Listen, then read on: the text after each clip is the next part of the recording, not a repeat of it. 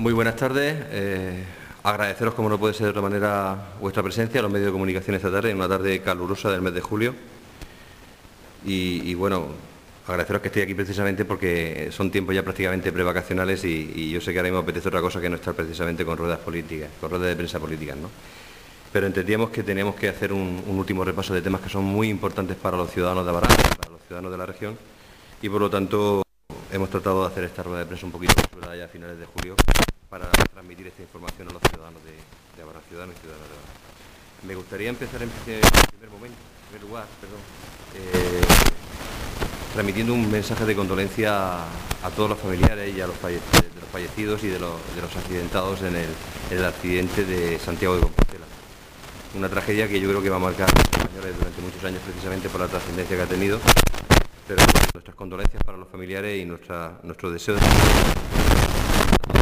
y para ello contamos esta tarde con la presencia de Ascensión Sánchez Verdejo, que es eh, nuestra secretaria de Acción Social de la Ejecutiva y que va a pasar a desarrollaros el tema de la dependencia, precisamente los recortes que se han vuelto a poner encima de la mesa eh, con una modificación de la norma de dependencia, al margen de la que hay a nivel nacional, una modificación que sale con una orden regional, que realmente prácticamente, como vais a ver ahora, pone en dique seco una norma tan importante y tan, tan trascendental para los abaraneros y abaraneras, para los ciudadanos que lo necesitan y que entendemos que teníamos que informar a los ciudadanos como ponernos a su disposición también para cuantas aclaraciones o aquellos consejos, aquella ayuda que les podamos prestar.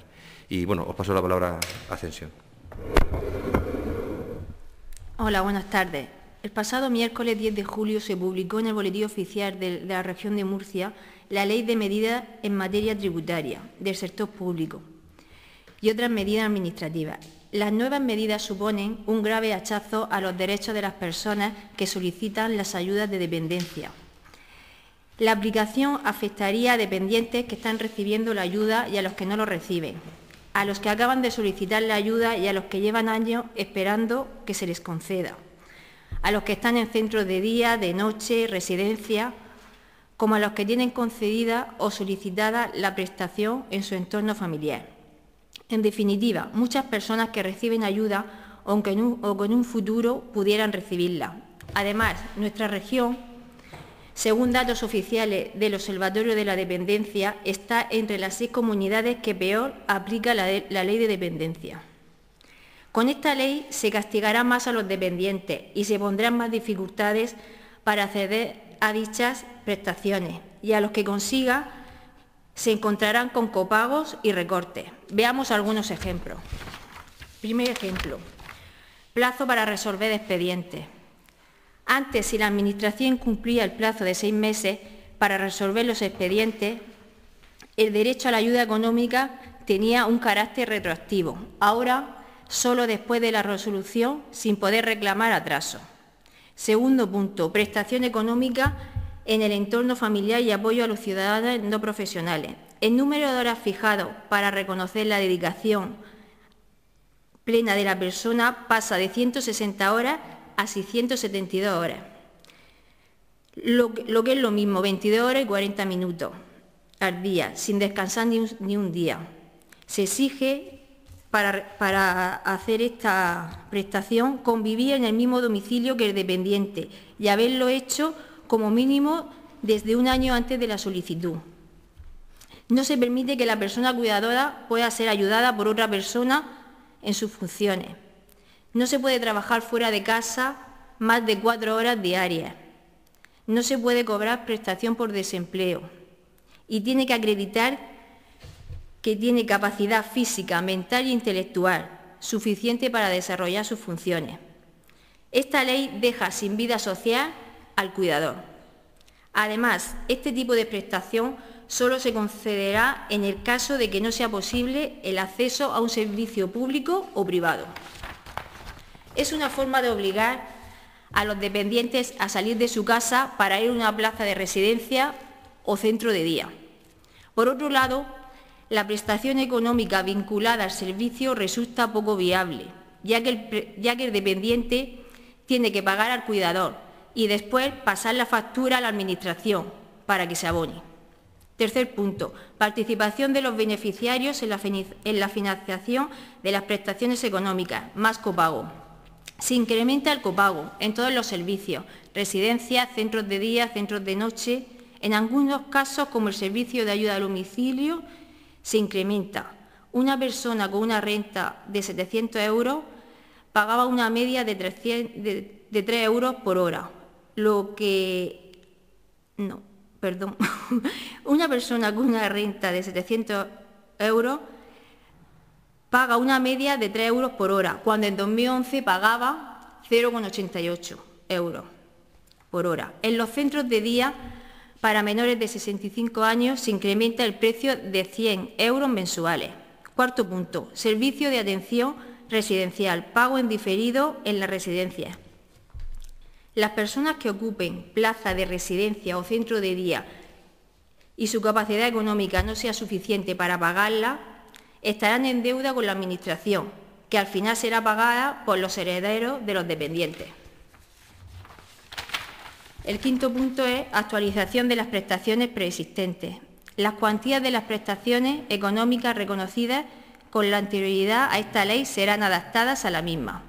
Y la sexta y última, prestaciones económicas para cuidados en el entorno familiar pendientes de resolver a todas las personas que hubieran solicitado acogerse a esta ayuda después del Real Decreto del 13 de julio de 2012 y no se le haya concedido las prestaciones, se le aplicará la ley y tendrá que presentar toda la documentación de nuevo en un plazo de seis meses.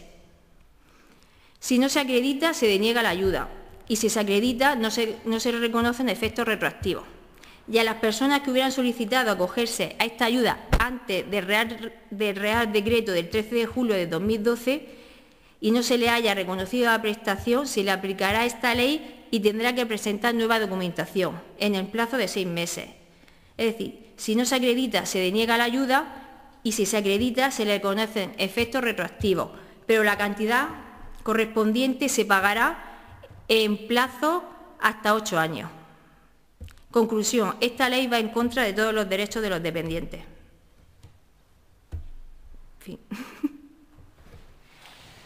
Pues muchísimas gracias, Ascensión, por, la explicación que has dado, porque la verdad es que has hecho un muy buen trabajo y lo has explicado muy bien.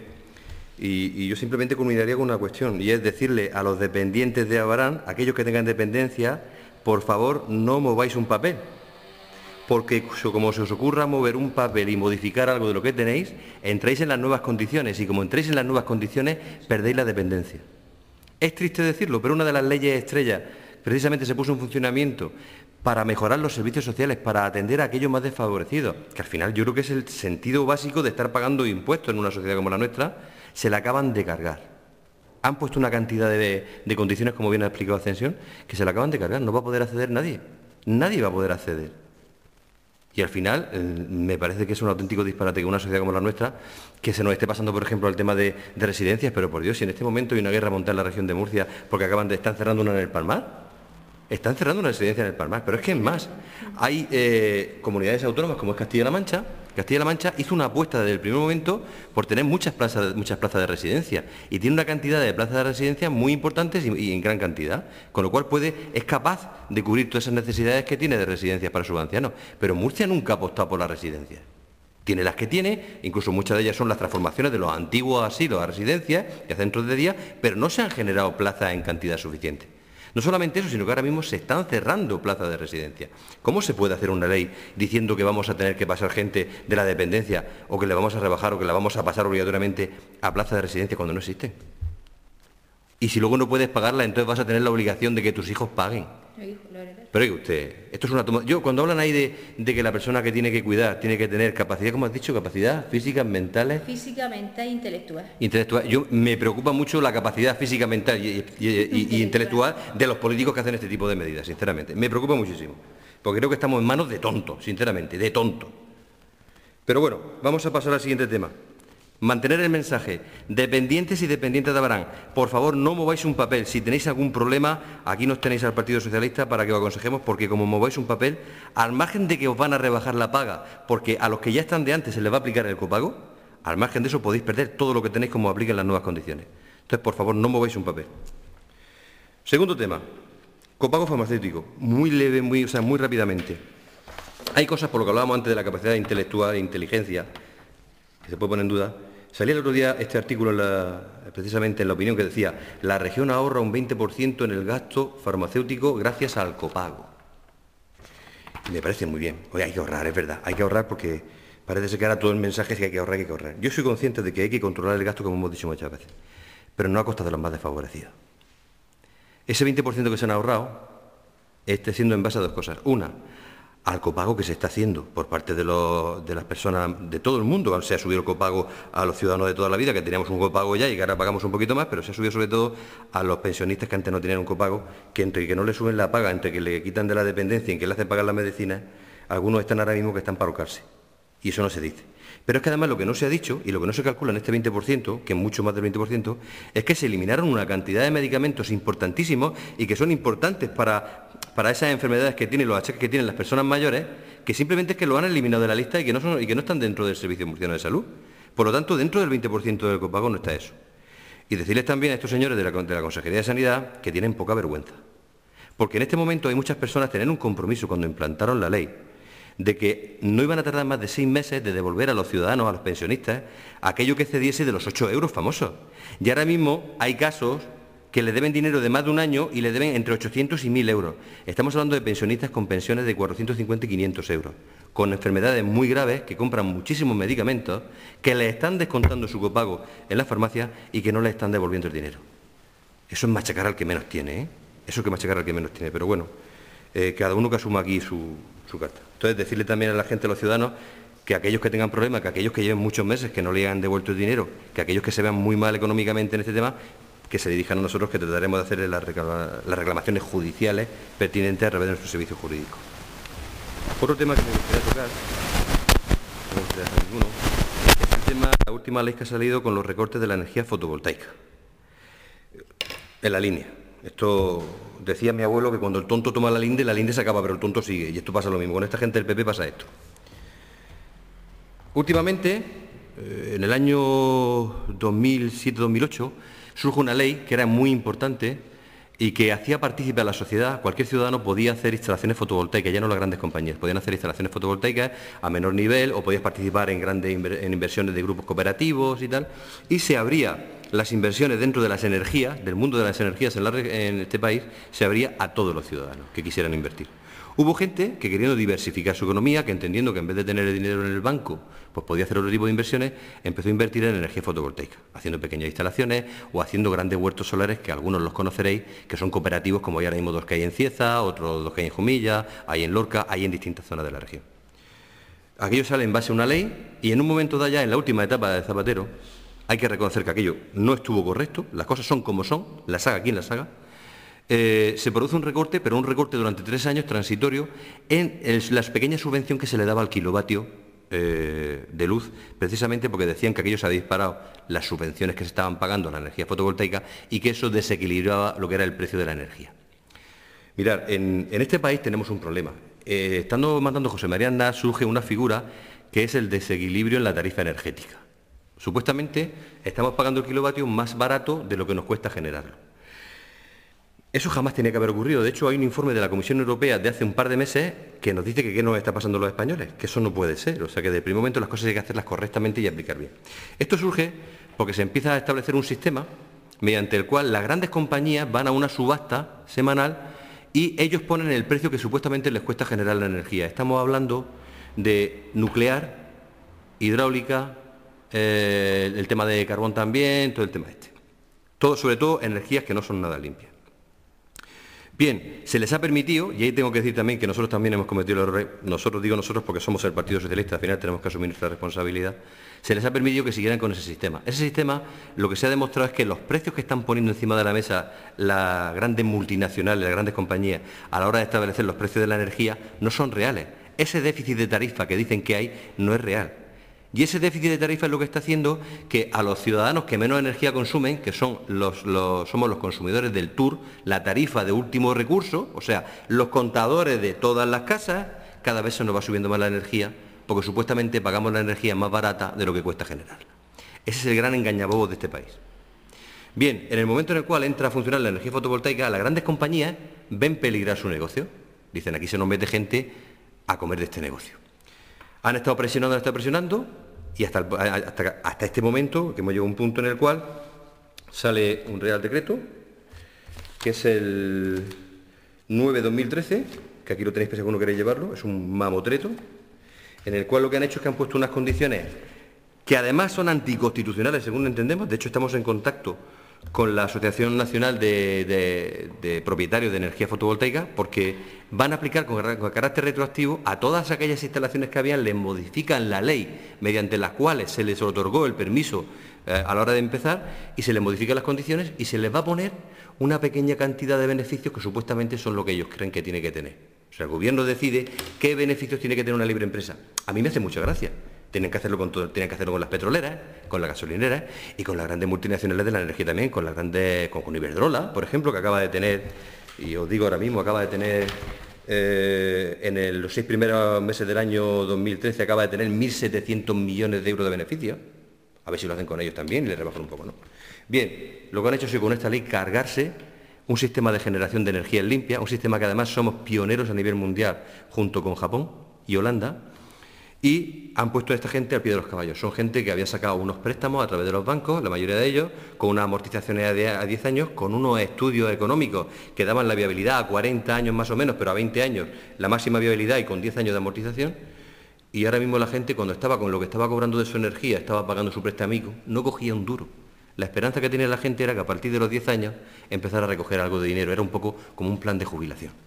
Bueno, pues se han visto que ahora tienen que estar poniendo dinero para pagar el préstamo e incluso algunos de ellos quieren reclamarle dinero del que han cobrado en los últimos años de la energía. Esto es un ataque frontal contra la pequeña y mediana empresa y una cacicada como la Copumpino, en favor evidentemente de las grandes compañías eléctricas. ¿Y por qué digo esto aquí en Abarán? Porque esto al final va a redundar en un, problema.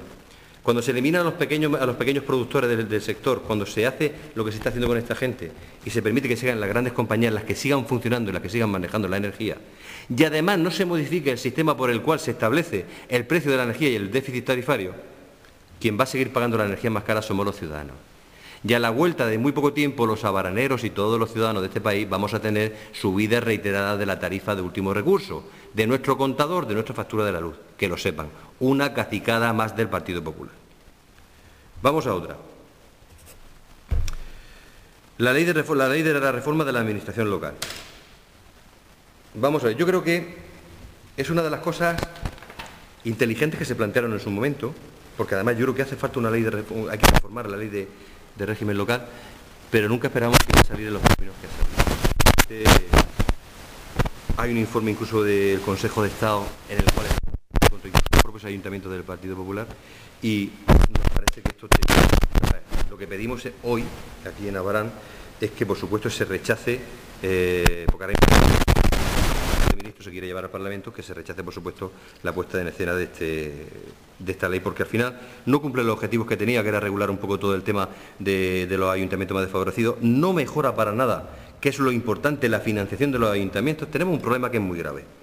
El sistema de financiación del Estado cubre qué, dinero se maneja el Estado, que son unas cantidades más o menos posiblemente mucho menos cantidad en porcentaje que manejan las comunidades autónomas, pero es cierto que al todo el Estado maneja grandes cantidades. Las comunidades autónomas que eh, manejan cantidades brutales de dinero, brutales de dinero, y luego, al margen de eso, está luego lo que manejan los ayuntamientos. Tenemos un problema y eso hay que reconocerlo, y es que los ayuntamientos manejando, están manejando muchísimo menos dinero del que debieran de manejar para poder realmente llevar a cabo todos los servicios que prestan a los ciudadanos. Eso es una realidad. Y es una realidad que había que regular de alguna manera también todo lo que es el sistema retributario, los salarios de los, de los alcaldes, que hay alcaldes que ganan más que, el presidente del gobierno, y todas esas cuestiones había que regularlas. Eso es cierto que había que regularlo. Pero lo que no es de recibo es que se ponga una ley que al final lo que va a hacer es simplemente quitarle competencia y dar la posibilidad de privatizar servicios que al día de hoy se están dando a través de los servicios públicos y son trascendentales para la sociedad. Hay que tener en cuenta que los ayuntamientos son la administración más cercana del ciudadano son las que más pronto llega, la que más rápidamente llega. Y por lo tanto es la que más hay que amparar, la que más hay que proteger. Y quitando las, barbaridades que se han estado haciendo en algunos ayuntamientos, pero algunos grandes ayuntamientos, pues evidentemente, o las que se hacen en algunos pequeños también, que también las hay. Pero evidentemente se pueden establecer mecanismos para controlar eso sin dar lugar a esta reforma, que es un auténtico disparate. Os puedo decir que ayuntamientos con menos de 20.000 habitantes, que son el 95% del total, van a pasar a depender de, de las decisiones de las diputaciones, en este caso, nosotros de la comunidad autónoma porque no tenemos diputación. Nosotros somos comunidad autónoma única, no tenemos. Temas como el abastecimiento del agua, la recogida de basura, la limpieza viaria, la pavimentación de las vías, el tratamiento de residuos. Que alguien me diga cuando mañana va a estar preocupado el señor Valcárcel de que si la calle de ahí abajo de no sé dónde o si la era está limpia no está, no está limpia. O sea, si el concejal de turno le cuesta trabajo controlarlo o le cuesta trabajo llevar sus servicios, porque alguien me explique cómo lo van a hacer. Es un auténtico despropósito. hemos dicho desde el primer momento que no estábamos de acuerdo, no quiero tampoco extenderme mucho, porque esto va a dar mucho que hablar en los próximos meses, pero es un auténtico despropósito tal y como está planteada. Hace falta una ley y es que hace falta reformar eh, la administración local, evidentemente, eso es cierto, pero no en los términos que se está haciendo, que al final yo me da la sensación que estamos poniendo la vaselina, poniendo un poco el cebo para engordar tontos, que es lo que nos dedicamos a hacer en este país. Y por último, quería comentaros el tema del trasvase del Tajo y del Ebro. Eh, mirar, yo, mm, tende que tende, lo siento. Soy agricultor y es una deformación profesional. Yo lo, tengo, lo siento, es una cosa que tengo que llevarle, ¿no? Me pareció un disparate hace unos meses lo que estaba pasando con el trasvase del, Tajo. Me sigue pareciendo lo que es un disparate, lo que es un disparate, lo que se sigue haciendo hoy con el trasvase del Tajo. Sigo diciendo que el memorándum no sirve para nada. Y prueba de ello es que en este momento el memorándum no acaba de terminar su negociación y cada vez la gente empieza a más con el tema de los 400 hectómetros cúbicos. Porque al final se han dado cuenta de que, como hemos dicho en algún caso, no son los 400. Son los 400 hectómetros cúbicos que quieren reservar en cabecera para poder no trasvasar.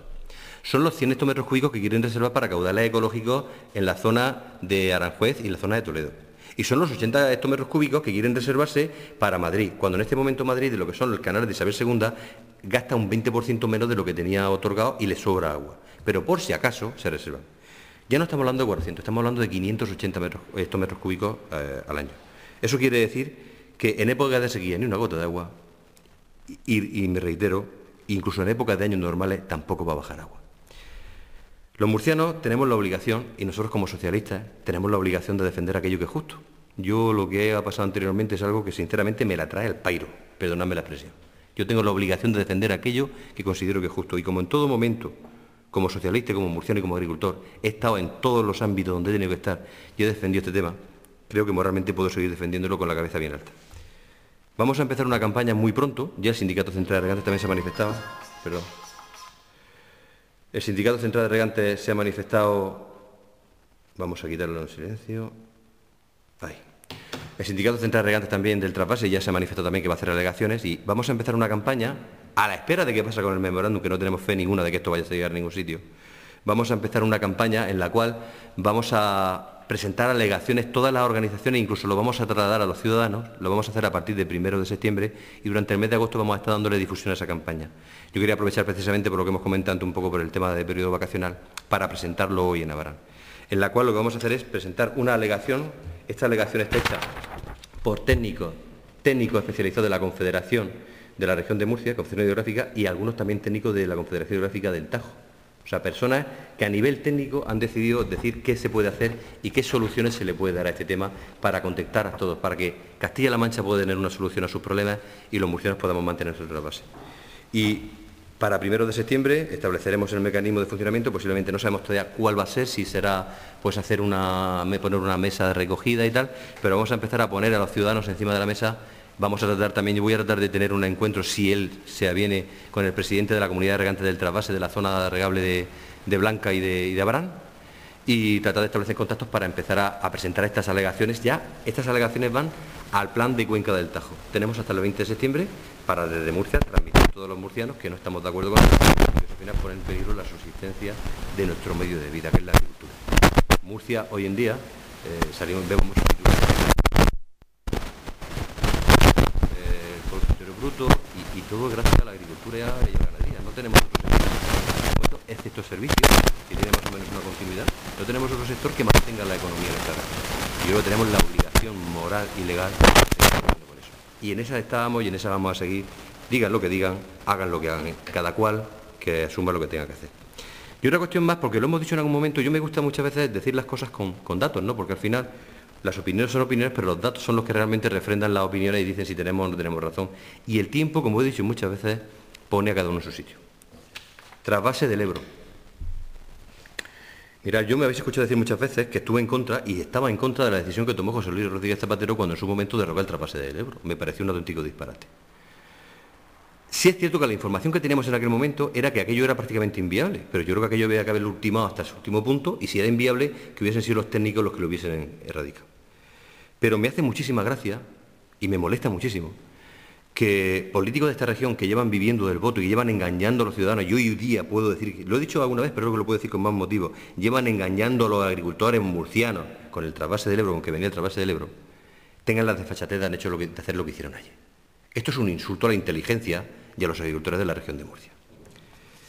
Si usted se cree que el trasvase del Ebro puede venir, usted no se va a la mesa, o sea, a lo que es el Consejo del Agua a nivel nacional que está en el Ministerio, donde se presenta el plan de cuenca del Ebro con un déficit de 900 hectómetros, donde había superávit de agua para bajar, donde además la información que tenemos nosotros en este momento, la que tiene el Partido Socialista de Abarán y la que tiene Antonio Moreno, su secretario general, habló con gente de Aragón, es que en Aragón no falta agua. En Aragón hay un problema de estructura en cabecera, de retención en cabecera. El problema que tiene Aragón con el Ebro es que cuando empiezan los deshielos y cuando llueve mucho, no tienen capacidad de retener agua en cabecera. Tienen inundación incluso de Zaragoza para abajo, provocan inundaciones en las zonas regables, en las vueltas bajas, porque no pueden retener el agua. Pero luego hay épocas del año que les falta mucha agua, porque el río baja con poquita agua. Y que lo que necesitaban para poder regular el agua realmente es tener almacenamiento en, la en las cabeceras, todo lo que son las cabeceras de la zona de los Pirineos, la zona de las cabeceras en, Santander, poder almacenar más agua en cabecera y poder soltar al río un caudal constante que sea el que pueda alimentar las necesidades de Aragón, incluso las necesidades de Murcia también. Evidentemente no desde la zona del delta, como querían traérselo, sino que hay posibilidades desde un Ebro medio a una cabecera delta, por ejemplo, aprovechando el trabajo que hoy día tenemos y algunos en su momento. Por lo que me parece lamentable es que los representantes de la región de Murcia, el presidente de la Confederación Hidrográfica del Segura, junto con su representante, con su compañero, vote, igual que pone aquí el señor Cañete, sí a esos 900 hectómetros cúbicos. Porque decir que sí al déficit del Ebro en Aragón es decir que no al Ebro en Murcia. Y es decir que has estado engañando a los murcianos durante 14, 15 años. Y esto es una vergüenza. Y aquí cada uno tiene que asumir, su, tiene que asumir su error y su competencia. Y lo estamos diciendo muchos años. Y os voy a decir una cosa, la única solución para esto, la única solución para esto, la sigo manteniendo y es la que siempre he defendido. De una vez por todas, se tiene que sentar Partido Popular y Partido Socialista, Partido Socialista y Partido Popular, hay que cerrar un pacto por el agua, hay que cerrar una política hidrológica a nivel nacional, cerrar ese acuerdo y que no se mueva nadie, gobierne quien gobierne, que nadie se mueva de ahí hasta que eso no se, no se consolide, hasta que no se haga. Ganas tú, lo estás ejecutando tú. Gano yo, lo ejecuto yo. Si no, los perjudicados siempre vamos a ser el Levante España. Porque somos los que nos falta agua, no nos engañemos. Pero es que además tenemos la desalación, que cada vez se va tirando más de desalación. A la chita callando se va tirando más de desalación para consumo humano y para otro uso. Para agricultura seguimos diciendo lo mismo. Yo sigo defendiendo que para agricultura inviable, es muy cara, no se puede gastar, pero estamos pidiendo que se investigue. En Israel se está investigando en este momento para abaratar el coste de desalación. Y aquí tenemos que seguir investigando en esa línea. Hay que seguir investigando para abaratar el coste de desalación y poder tener un agua desalada más económica, más barata y más asequible. Quería simplemente transmitiros de verdad lo que me produce indignación, pavor y vergüenza ajena. No se puede seguir con esta mentira, porque hasta hace muy pocos días, hasta hace muy poquitos días, había un político de esta región que estaba diciendo de recuperar el trasvase del Ebro. Pues ahí lo tienes, échale cojones. Ahí lo tienes. Que lo sepan los baraneros, que lo sepan las baraneras. Y en principio, mm, ningún tema más que comentaros, de verdad. Agradeceros que estéis aquí y si tenéis alguna pregunta que hacer. Pues muchísimas gracias, que paséis un buen verano y nos vemos a la vuelta de, del verano. Muchas gracias.